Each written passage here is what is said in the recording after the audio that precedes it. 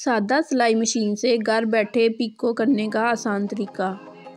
दुपट्टू में पिको करवाने बाज़ार जाने की ज़रूरत नहीं। जानिए सादा सिलाई मशीन से घर बैठे पिको करने का आसान तरीका। जो सब खवातीन जानना चाहती हैं। कपड़े तो घर में खातन सी लेती हैं, इनको अच्छे से अपनी पसंद के डिज़ाइन से बना लेती हैं, लेकिन दुपट्टे पर पिको करवाने के लिए बाज़ारों का रुख करती हैं। लेकिन अब से आपको इस काम के लिए भी बाज़ार जाने की ज़रूरत नहीं। अब आप दुपट्टू को भी खुद से घर में सादी सिलाई मशीन से पीको कर सकती हैं।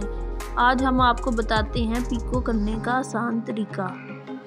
टिप, जो भी दुपट्टा आपको पीको करना है, इसको पहले चारों तरफ़ से बराबर कर लें, यानी जितनी भी इजाफी खान है वो ख़त्म कर लें। फिर कपड़ों वाली चाक से आप एक सीधी लाइन दुपट्टे के किनारों पर लगाएँ।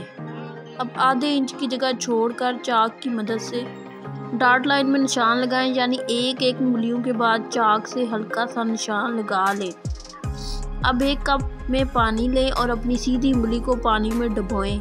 अब उंगली की मदद से दुपट्टे के किनारों को डार्ट लाइन वाले निशान तक मोड़ें। फिर सिलाई मशीन में धागा डालें। अब डार्ट लाइन दुपट्टे के किनारों को जिग करके सी लें। लीजिए घर बैठे दुपट्टे पर सादी सिलाई मशीन से पीको भी हो गई और आपके पैसे भी बच गए।